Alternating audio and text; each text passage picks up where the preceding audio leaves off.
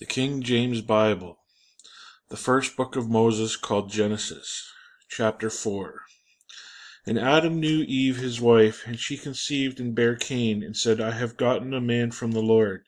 And she again bare his brother Abel, and Abel was a keener of sheep, but Cain was a tiller of the ground. And in process of time it came to pass that Cain brought of the fruit of the ground an offering unto the Lord. And Abel he also brought of the firstlings of his flock and of the fat thereof. And the Lord had respect unto Abel and to his offering. But unto Cain and to his offering he had not respect. And Cain was very wroth, and, and his countenance fell. And the Lord said unto Cain, Why art thou wroth, and why is thy countenance fallen? If thou doest well, shalt thou not be accepted? And if thou dost not well, sin lieth at the door and unto thee shall be his desire, and thou shalt rule over him. And Cain talked with Abel his brother. And it came to pass, when they were in the field, that Cain rose up against Abel his brother, and slew him. And the Lord said unto Cain, Where is Abel thy brother? And he said, I know not. Am I my brother's keeper? And he said, What hast thou done? The voice of thy bro brother's blood crieth out unto me from the ground. And now art thou cursed from the earth, which hath opened her mouth to receive thy brother's blood from thy hand. When thou tillest the ground, it shall not henceforth yield unto thee her strength. A fugitive and a vagabond shalt thou be in the earth. And Cain said unto the Lord, My punishment is greater than I can ever bear. Behold, thou hast driven me out, of, out this day from the face of the earth, and from thy face shall I be hid and I shall be a fugitive and vagabond in the earth. And it shall come to pass that every one that findeth me shall slay me. And the Lord said unto him, Therefore whosoever slayeth Cain, vengeance shall be taken on him sevenfold. And the Lord set a mark upon Cain, lest any finding him should kill him. And Cain went out from the presence of the Lord, and dwelt in the land of Nod, on the east of Eden. And Cain knew his wife, and she conceived and bare Enoch. And he builded a city, and called the name of the city after the name of his son Enoch. And unto Enoch was born Irad, and Irad begat Mehujael, and Mehujael begat Methuselah, and Methuselah begat Lamech. And Lamech took unto him two wives. The name of one was Adah, and the other name of and the name of the other was Zillah and Adah bare Jabal. He was the father of such as dwell in tents, and such as have cattle. And his brother's name was Jubal. He was the father of all such as handle the harp and organ. And Zillah, who bare, who she also bare Tubal Cain, an instructor in every artificer in brass and iron. And the sister of Tubal Cain was Naamah. And Lamech said unto his wives, Adah and Zillah, Hear my voice, ye wives of Lamech, hearken unto my speech, for I have slain a man to my wounding, and a young man to my hurt. If Cain shall be avenged sevenfold, surely truly Lamech seventy and sevenfold. And Adam knew his wife again, and she bare a son, and called his name Seth. For God, she said, hath appointed me another seed instead of Abel, whom Cain slew. And to Seth to him also there was born a son, and he called his name Enos. Then began men to call upon the name of the Lord. Chapter 5 This is the book of the generations of Adam. In the day that God created man in the likeness of God made he him.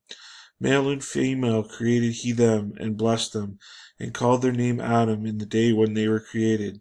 And Adam lived a hundred and thirty years, and begat a son in his own likeness, and after his image, and called his name Seth.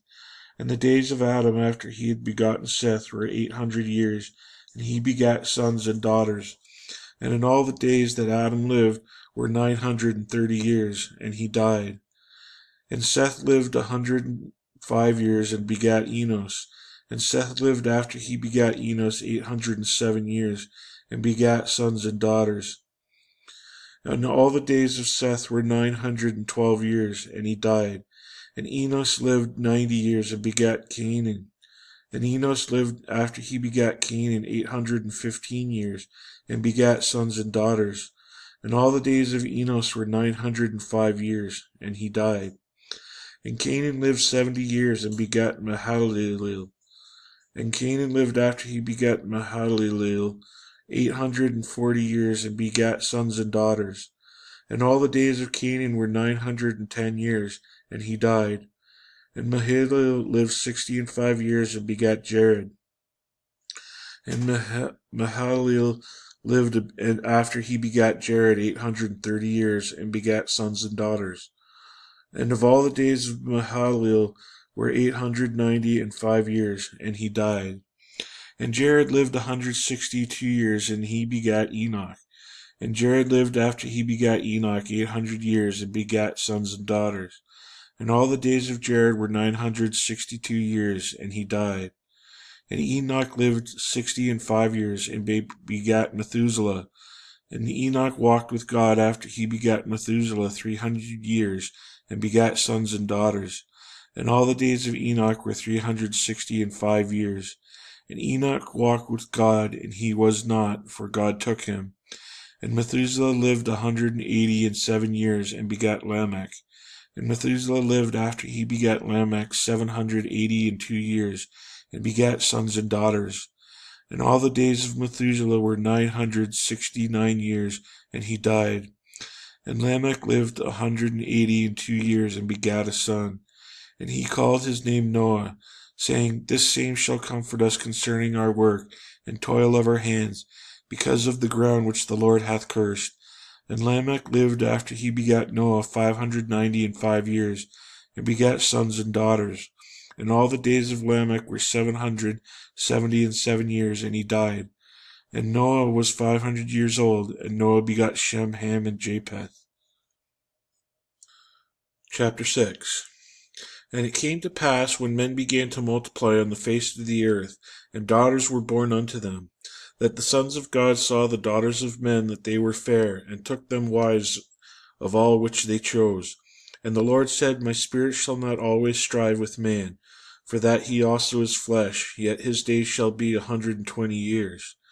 There are giants on the there were giants in the earth in those days, and also after that, when the sons of God came into unto the daughters of men, and they bare children to them, and the same became mighty men which were of old, men of renown. And God saw that the wickedness of man was great in the earth, and that every imagination of the thoughts of his heart was only, only evil continually. And it repented the Lord that he made man on the earth, and it grieved him at his heart. And the Lord said, I will destroy man whom I have created from the face of the earth, both man and beast and the creeping thing, and the fowls of the air, for it repenteth me that I have made them. But Noah found grace in the eyes of the Lord. These are the generations of Noah. Noah was a just man and perfect in his generations, and Noah walked with God. And Noah begat three sons, Shem, Ham, and Japheth. The earth was also corrupt before God, and the earth was filled with violence. And God looked upon the earth, and behold, it was corrupt, for all for all flesh had corrupted his way upon the earth. And God said unto Noah, The end of all flesh is come before me, for the earth is filled with violence through them, and behold, I will destroy them with the earth. Make thee an ark of gopher wood. Rooms shalt thou shalt make in the ark, and shalt pitch it within and without with pitch.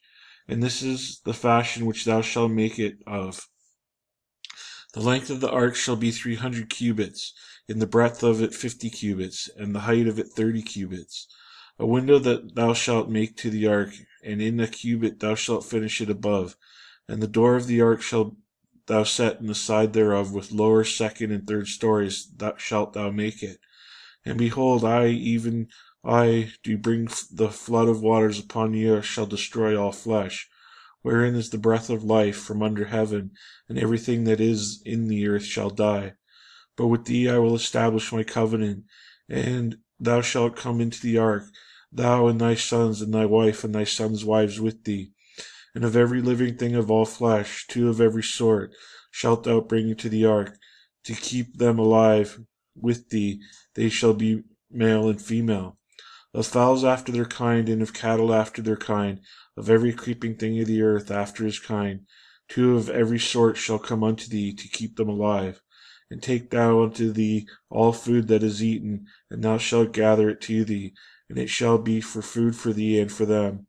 Thus did Noah according to all that God commanded him, so did he. Chapter 7 And the Lord said unto Noah, Come thou and all thy house into the ark, for thee I have seen righteous before me in this generation. Of every clean beast thou shalt take to thee by sevens, the male and his female, and of beasts that are not clean by two, the male and his female. Of fowls also by the air by sevens, the male and the female, to keep seed alive upon the face of all the earth. For yet seven days, and I will cause it to rain upon the earth forty days and forty nights, and every living substance that I have made will I destroy from off the face of the earth. And Noah did according unto all that the Lord commanded him. And Noah was six hundred years old when the flood waters were upon the earth. And Noah went in, and his sons, and his wife, and his sons' wives with him, into the ark because of the waters of the flood. Of clean beasts, and of beasts that are not clean, and of fowls, and of everything that creepeth upon the earth. There went in two and two unto Noah unto the ark, the male and the female, as God had commanded Noah. And it came to pass after seven days that the waters of the flood were upon the earth in the six hundredth year of Noah's life, in the second month, the seventeenth day of the month, the same day were all the fountains of the great deep broken up, and the windows of heaven were opened, and the rain was upon the earth forty days and forty nights. And that self same day entered Noah and Shem and Ham and Japheth, the sons of Noah and Noah's wife, and the three wives of his of his sons with them into the ark, they and every beast after his kind, and of all the cattle after their kind, and every creeping thing that creepeth upon the earth after his kind, and every fowl after his kind, every bird of every sort. And they went in unto Noah into the ark, two and two of all flesh, wherein is the breath of life. And they that went in, went in male and female of all flesh, as God had commanded him, and the Lord shut him in. And the flood was forty days upon the earth. And the waters increased and bare up the ark, and it was lifted up above the earth. And the waters prevailed and were increased greatly upon the earth, and the ark went up upon the face of the waters. And the waters prevailed exceedingly upon the earth, and all the high hills that were under the whole heaven were covered. Fifteen cubits upward did the waters prevail, and the mountains were covered.